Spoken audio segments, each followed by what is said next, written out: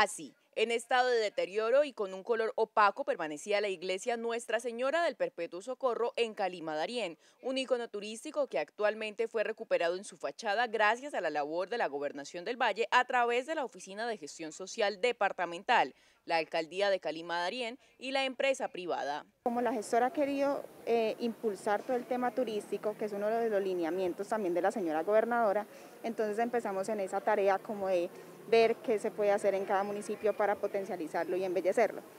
¿Por qué? Porque es que Calimarien no es solamente el lago, queremos mostrar otras cosas que tiene el municipio. Su infraestructura fue revivida tras la donación de pintura realizada por la gestora departamental Claudia Viviana Posada Roldán y la empresa privada, logrando que esta pieza de valor religioso y artístico destacara en medio del paisaje. Yo creo que nosotros seguimos preparándonos para asumir ese reto grande de ser el centro de turismo del suroccidente colombiano después de que pase el COVID. Esto se busca resaltando la conservación arquitectónica, sus características y todo lo que representa.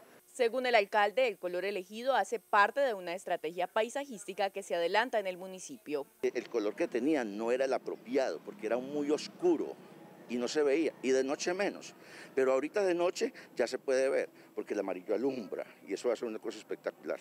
Eh, estamos muy agradecidos, primero que todo, con la gestora del Valle del Cauca, la autora Claudia Viviana, pues que por medio de ella tuvimos esta dicha, este placer de tener la iglesia así. Esta actividad liderada por la gestora social Claudia Viviana Posada Roldán se pretende realizar en cada uno de los municipios y distritos que conforman el departamento.